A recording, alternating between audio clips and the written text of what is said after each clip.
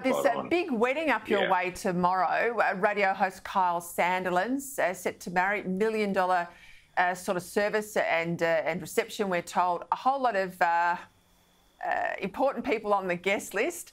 Some of an underworld type, a few convicted drug smugglers. of course, though, mm. a prime minister mm. and a premier.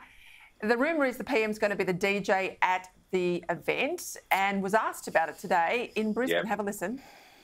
I uh, was invited uh, to the wedding. I said I would go, and I keep my commitments, including to Kyle Sandilands. All right, a fair amount of criticism tonight, given it's, a, as I said, a million dollar plus wedding, some shady characters there, and Australians are doing it pretty tough. what do you make of the criticism, Luke? Yeah, I, I think I think it's fair. You know, I think this whole DJ Albo thing probably appeals to a very tiny part of the population that probably live in the seat of Grayndler in Sydney, but the rest of us uh, would just like to have our lives improved because we elected a government, hopefully, to do something about improving our lives. Uh, looked a bit try hard. I don't know if he why he would listen to Kyle Sandilands and not the great Ben Fordham has me completely and utterly lost.